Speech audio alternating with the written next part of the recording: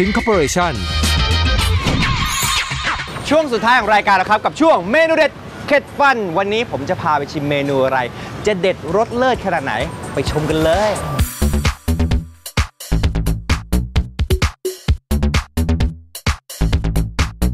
กลับมาอยู่ช่วงเมนูเด็ดเข็ดฟันครับ วันนี้ผมพาคุณผู้ชมมาที่นี่เลย ร้าน Star Chef สาขาเดนายพระราม 9 เขาจะมีเมนูเด็ดๆเข็ดฟันขนาดไหน ตามผมไปดูกันเลยฮะ ไป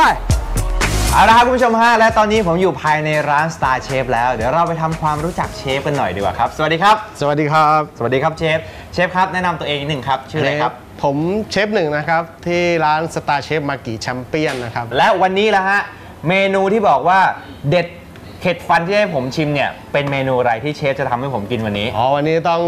ชินคันเซ็นเลยครับ2ชิ้น 12 รสชาติในขบวนเดียวกัน งั้นเดี๋ยวไปกินกันเลยฮะกับชินคันเซ็นมากิยังไงวันนี้ขอบคุณเชฟหนึ่งมากเลยคขรัอบบคุณมากครับครับ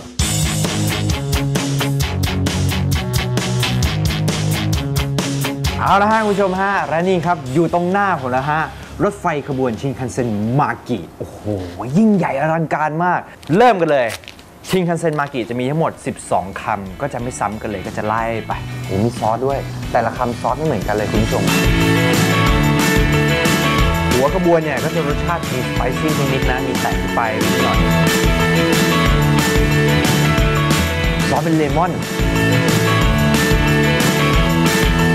เอาละครับ เมนูเด็ดเข็ดฟัน สัปดาห์หน้าจะเป็นเมนูอะไร อย่าลืมติดตามชมกันนะครับ ผมบอกเลยว่าอร่อยทุกเมนูที่ผมจะพามา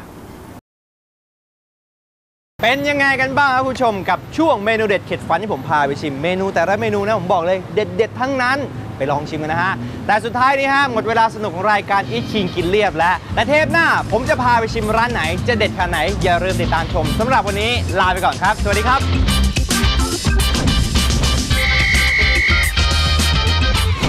สิงค Corporation